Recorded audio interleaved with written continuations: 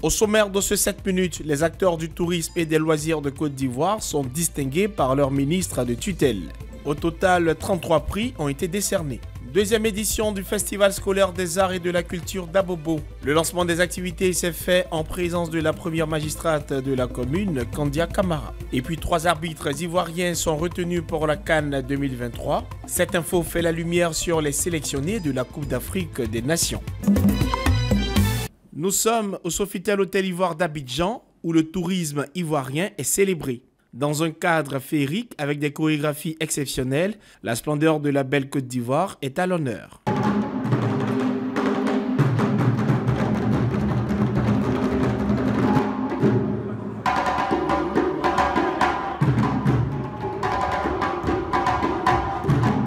Le ministère du Tourisme et des Loisirs a décidé de rendre hommage à ses meilleurs acteurs. Les sublimes du tourisme ont été distingués par le ministre Siandou Fofana. Je voudrais que ces différents prix que vous allez recevoir et cette distinction soient euh, la marque de votre capacité à réinventer le mécanisme pour vous approprier la qualité des services au service de vos clients, mais que surtout, nous ayons à garder cela comme une invite à redoubler d'ardeur et de vigilance dans l'exercice de vos fonctions afin que la Côte d'Ivoire sublime ne cesse de sublimer la belle initiative qu'est Sublime Côte d'Ivoire, de laquelle découle Sublime du tourisme, et la tradition de votre engagement à donner une véritable identité touristique à notre pays.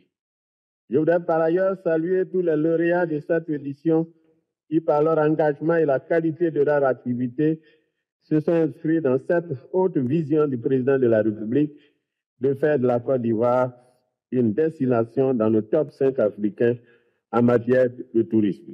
Au total, 25 prix répartis dans les catégories hébergement, restauration, établissement de loisirs et agences de voyage ont été décernés. 8 prix spéciaux ont été également attribués à des personnalités et établissements touristiques. National de développement. C'est un sentiment de satisfaction parce que ça veut dire que le travail bien fait à payer. On va continuer de travailler tant qu'il aura des trophées, tant qu'on va travailler, c'est ça la vie. La vie, on travaille. Mais tout ce qui peut nous honorer, c'est d'avoir des trophées. Et raison pour laquelle on se met en on bosse très, très, très dur. Les sublimes du tourisme représentent une étape majeure dans la promotion de la qualité et de l'innovation dans le secteur touristique ivoirien. En récompensant les acteurs exemplaires, cet événement renforce la réputation de la Côte d'Ivoire en tant que destination touristique de premier plan, tout en encourageant l'amélioration continue de l'offre touristique du pays. C'est reparti pour la deuxième édition du Festival scolaire des arts et de la culture d'Abobo. Ces candidats seront évalués dans plusieurs disciplines, notamment le chant choral, le slam et bien d'autres. Nous avons institué ce festival des arts et de la culture d'Abobo pour que, ici, à partir d'Abobo, que la Côte d'Ivoire puisse avoir de grands acteurs dans le domaine de l'art et de la culture. Et nous voulons justement faire découvrir aussi les talents que nous avons au niveau des jeunes.